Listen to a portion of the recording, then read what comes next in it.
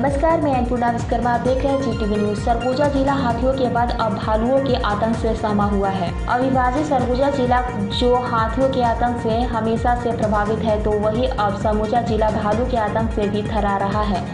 जंगली जानवरों का आतंक लगातार बढ़ता जा रहा है, लेकिन वन विभाग ग्रामीणों को जागरूक नहीं कर पा रही है, जिससे वह अपनी जान को बचा सके।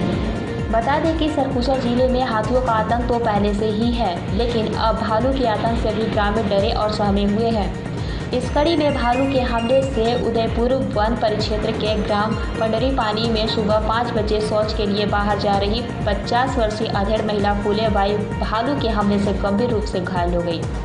जिसके बाद परिजनों ने तत्काल समुदाय स्वास्थ्य केंद्र उदयपुर लाया, जहाँ प्राथमिक उपचार के बाद बेहतर इलाज के लिए अंबिकापुर रेफर कर दिया गया। वह सूत्रों के माने तो करीब एक महीने में भालू के हमले से आधा दर्जन लोग घायल हो चुके हैं। पेश सरगुजा से पारसनाथ सिंह की एक खास रिपोर्ट। पंडरी पानी। क्या हो गया? वो भालू काट दिया है।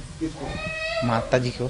कैसे हो गया था वो जो दो भालू थे हम्म, और जो शौच करने के लिए गई थी वापस आते समय जो जस्ट दरवाजे के पास पहुँची इसके बाद भालू पकड़ लिया उसको।